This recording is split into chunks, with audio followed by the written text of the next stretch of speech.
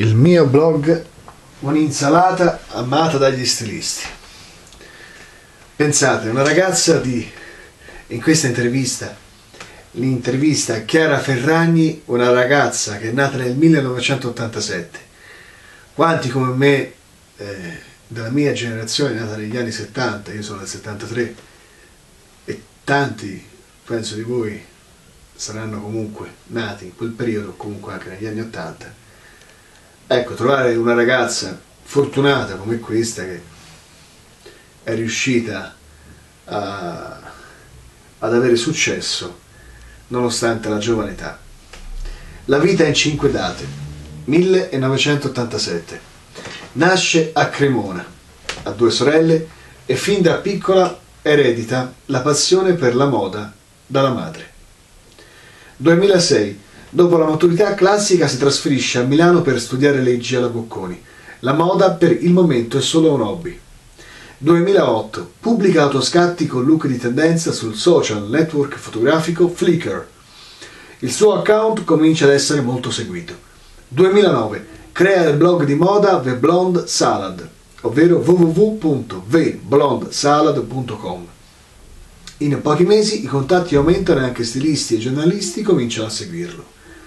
2010. Il blog raggiunge 50.000, 50.000 visite al giorno.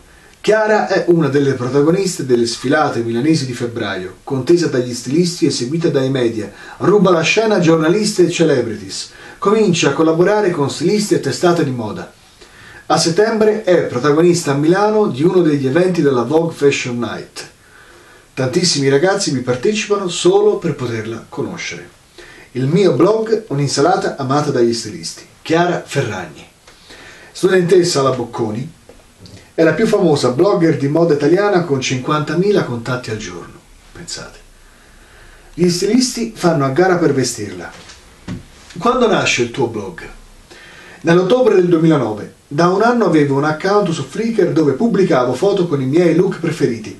Alcune erano autoscatti, altre erano fatte dal mio ragazzo o dai miei amici volevo condividere la mia passione per la moda e per la fotografia. Ho avuto subito un grande riscontro. Poi ho sentito l'esigenza di interagire di più con chi mi seguiva, di pubblicare notizie e non solo foto, di creare uno spazio attivo in cui la gente potesse commentare e così è nato The Blonde Salad. Perché questo nome? Letteralmente significa insalata bionda.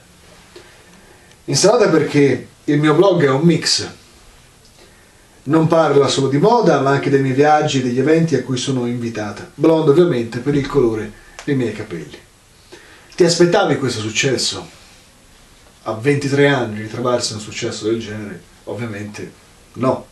E lei che cosa risponde? No. Sin dall'inizio sapevo che avrei avuto tanti fan che mi conoscevano già da Flickr, ma non immaginavo che ne sarebbero aggiunti tanti altri. Ora il blog ha più di 50.000 contatti al giorno. Non pensavo nemmeno che la stampa e le aziende di moda italiane fossero pronte ad accogliere il fenomeno della fashion blogger, che all'estero erano già note. Quando ti sei resa conto di essere diventata famosa?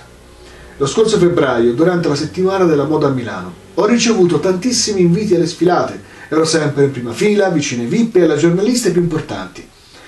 I media hanno cominciato a seguirmi. Ricordo ancora la prima intervista per un telegiornale rivedermi in televisione mi faceva effetto. Poi c'è stata la partecipazione al Cambretti Night.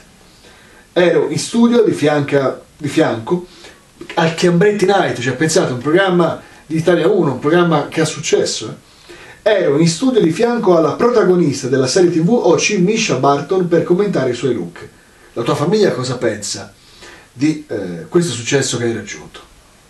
Mia mamma ha reagito bene, conosce il mondo della moda perché ci lavora, ho ereditato da lei questa passione. Papà invece era più dubbioso, era preoccupato per la mia privacy, ma poi ha visto che non scrivo mai post personali ed ha capito che è un'opportunità importante per me. Dato il periodo di crisi, sì. Un blog di moda è quasi una laurea in giurisprudenza, ma cosa vuoi fare veramente da grande? Finito il liceo ero confusa. Il mondo del, del diritto, mi attirava e la passione per la moda non era ancora sbocciata. Per questo mi sono iscritta a giurisprudenza. Ora mi mancano nove esami alla laurea. ma non sono più sicura di voler fare l'avvocato. Mi piace di più la creatività della moda. Pensavo a un master in marketing, una volta laureata, così potrei continuare a lavorare in questo settore. L'obiettivo è conciliare la mia professione futura con il blog. Ormai è molto seguito, se lo chiedessi perderei credibilità. Che rapporti hai con le altre blogger italiane? Buoni, ma come in tutti gli ambienti ci sono invidia e competizione. Mi criticano in tante, hanno da ridire perché sono la più seguita degli stilisti. Ce ne sarà comunque una che all'inizio ti ha ispirato. E lei, certo. Più di una, ma non italiana. La mia blogger di riferimento è Fashion Toast, una ragazza mezza californiana e mezza giapponese con uno stile molto particolare. Mi piace anche The Cherry Blossom Girl, una blogger francese che fa foto bellissime, veri servizi di moda, ma il suo stile mi piace meno. Sei ancora una studentessa, come compri tutti questi vestiti griffati? Prima compravo molti abiti di seconda mano e approfittavo delle ricorrenze per farmi regalare borse e scarpe firmate. Da quando il blog è popolare, gli stilisti mi fanno sconti e regali Posso scegliere i capi dalle collezioni per indossarli nei miei scatti. Poi ora collaboro anche con delle riviste di moda. Ormai questo è un lavoro. Chi mi critica, soprattutto le altre blogger, ecco, mi fa sempre conto in tasca. Ma è tutta la luce del sole, i fan lo hanno capito. Quanto contano i tuoi fan? Tantissimo. È a loro, a loro che devo rendere conto. Rispondo sempre alle domande e accetto i consigli. Ho rinunciato anche a dei contratti con marchi di moda per rispetto nei confronti di chi mi segue da sempre. Che cos'è per te lo stile? Stare bene con quello che si indossa. Eccomi qua. Senza somigliare a un modello ideale. Sono felice di dare consigli di moda, ma i miei sono solo spunti. Ognuno deve vestirsi secondo il suo gusto. Chi è la tua icona di stile? Adoro Kate Moss, Sienna Miller e le gemelle Olsen. Stilista preferito? Alexander McQueen, Alexander Wong e tra gli italiani Dolce Gabbana. Sta per cominciare la settimana della moda di Milano. Cosa non potrà mancare nei nostri armadi questo inverno? Il colore rosso.